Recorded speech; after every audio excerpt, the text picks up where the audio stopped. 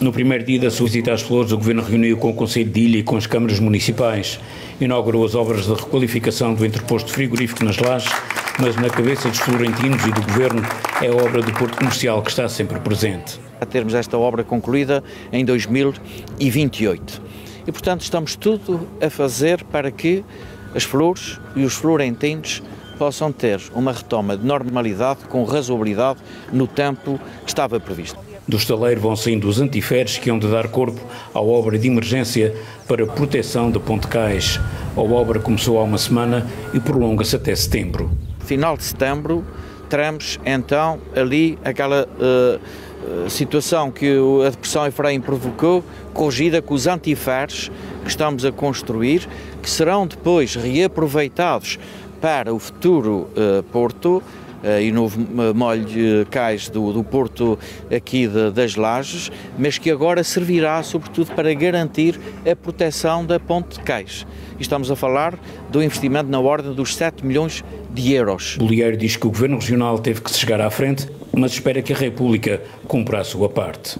Não estamos a antever nenhuma dificuldade nessa matéria de o Governo da República cumprir com honra o seu compromisso e, portanto, eu conto com a boa fé e, sobretudo, a compreensão da responsabilidade do Estado solidário nesta matéria. Portanto, não vou antecipar cenários negativistas.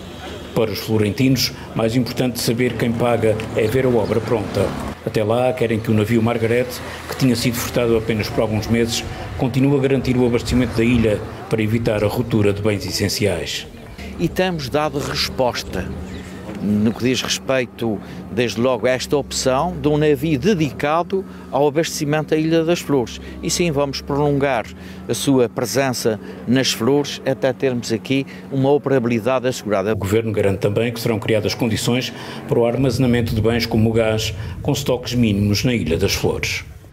Foram muitos os adeptos que se deslocaram ao pavilhão do Candelária. A missão era difícil, mas não impossível. A derrota por seis bolas a duas no primeiro jogo obrigavam a equipa do Pico a vencer com uma diferença de cinco golos.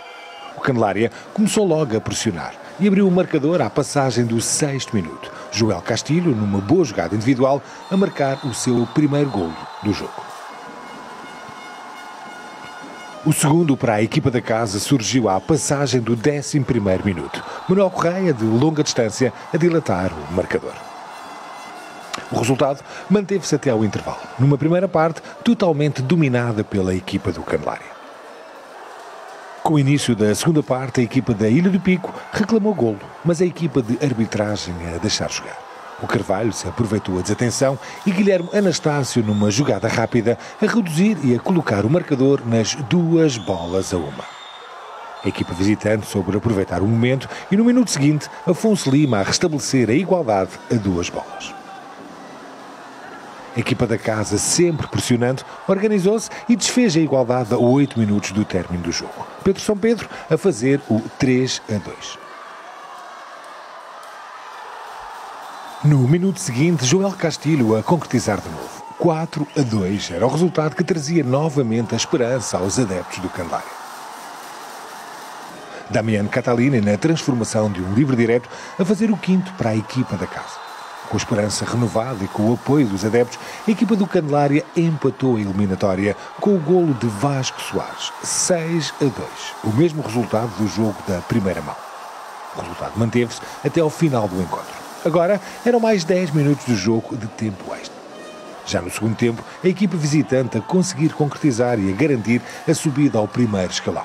A equipa da Ilha do Pico, apesar da vitória e do grande jogo realizado, vai se manter na segunda divisão da Zona Sul do Hockey Nacional na próxima temporada. Foram mais de 350 jogos na carreira, quase metade deles, cerca de 161 com a camisola do Santa Clara, onde jogou durante cinco temporadas. Foram muitos anos dentro das quatro linhas que o levam a ainda sentir saudades. Sinto uma necessidade de um, de um balneário. Uh, o balneário é muito mais que aquilo que as pessoas pensam. O balneário cria-se uma família, uh, cria-se uma amizade muito grande, uh, cria-se momentos inesquecíveis. O futebol não é só dentro das quatro linhas, é muito mais que isso. Serginho não destaca nenhum momento em especial porque dentro de campo considera que todos foram especiais. Pendurou as luvas há dois anos e voltou aos Açores, uma vez que a sua mulher é de São Miguel. Mas no momento de terminar uma carreira, começou uma nova, a de barbeiro. Era um trabalho que eu sempre gostei, eh, talvez venha já do, do meu avô António Teixeira, será sempre uma referência para mim, um ídolo, que era barbeiro. Lembro-me perfeitamente quando era pequenino, sentava-me no banquinho na barbearia e, e talvez a gente vá associando, eh, talvez foi um dos dons que ele me transmitiu. Eh, já ia cortando o cabelo aos meus companheiros, alguns, mas nada do que é hoje, porque não tinha formação.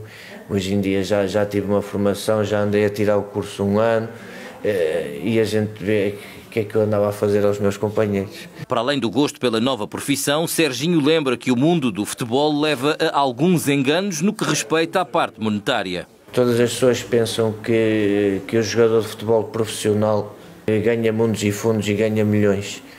E, e isso não condiz com a realidade.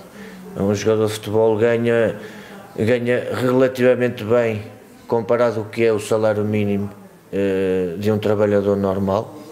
Uh, mas uh, só jogando num, num Porto, num Benfica, campeonatos estrangeiros, é que se pode ganhar dinheiro para uma vida. Serginho foi um dos jogadores que fazia parte do plantel do Santa Clara quando há cinco anos subiram da divisão. Quem não se lembra do pedido de casamento feito nas portas da cidade de Ponta Delgada no momento da festa da subida?